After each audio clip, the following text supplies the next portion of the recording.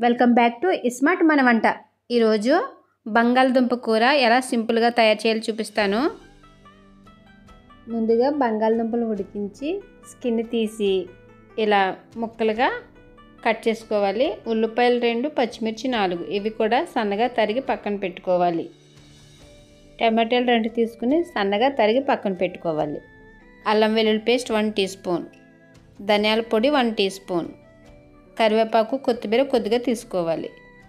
Stove వెలిగించి stove మీద కడాయి పెట్టి అందులో రెండు టేబుల్ స్పూన్ల ఆయిల్ వేసుకుని వేడైన తర్వాత ఉల్లిపాయ పచ్చిమిర్చి వేసుకుని వేపుకోవాలి. కలర్ మారేంత వరకు వేపుకోవాలి.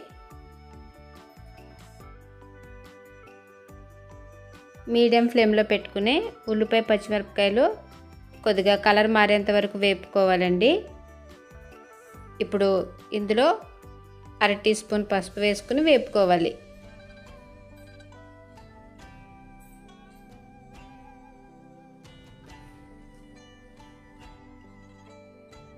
కలర్ మారాయి కదా ఇప్పుడు అల్లం వెల్లుల్లి పేస్ట్ ఒక టీ స్పూన్ వేసుకుని పచ్చివాసన పోయేంత వరకు వేపుకోవాలి.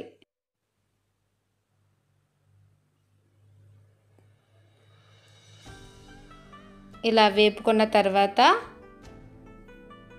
ఇందులో ఉడికించిన బంగాళదుంప ముక్కలు వేసుకుని నెమ్మదిగా కలుపుకోవాలి.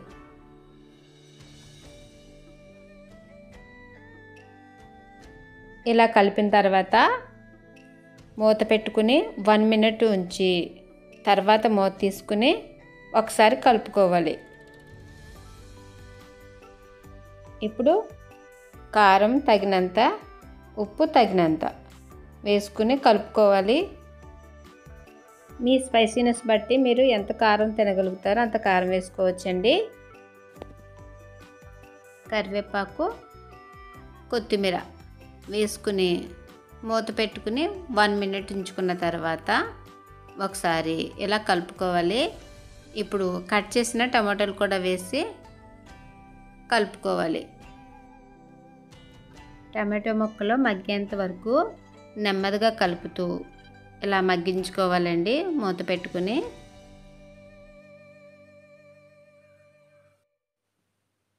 ఫస్ట్ టైం కనుక మా ఛానల్ చూస్తుంటే సబ్స్క్రైబ్ చేయండి లైక్ చేయండి షేర్ చేయండి.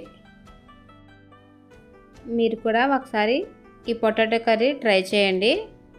ఇప్పుడు చూస్తే టమాటో ముక్కలు కూడా బాగా మగ్గాయి. ఇప్పుడు తగినన్ని నీళ్ళు వేసుకోవాలి. ఉడికించిన బంగాళదుంపలు కదండి? తక్కువే వాటర్ వేసుకోవాలి. ఎక్కువ వాటర్ వేయక్కర్లేదు. ఇప్పుడు కొద్దిగా కొత్తిమీర వేసుకుని మూత పెట్టుకుని టూ మినిట్స్ అలా ఉంచుకోవాలి. టూ మినిట్స్ అయింది కదా? ధనియాల పొడి వేసుకుని ఒకసారి కలుపుకొని కూర దగ్గరగా వచ్చేంత వరకు మూత పెట్టి ఉడకనివ్వాలి. కూర ఈ విధంగా వండితే చాలా చాలా బాగుంటుందని మీరు తప్పకుండా ట్రై చేయండి. ఇప్పుడు కొత్తిమీర చల్లి స్టవ్ ఆఫ్ చేయాలి. మరొక రెసిపీతో మీ ముందుకు వస్తుంది మీ ఇస్మార్ట్ మన వంట.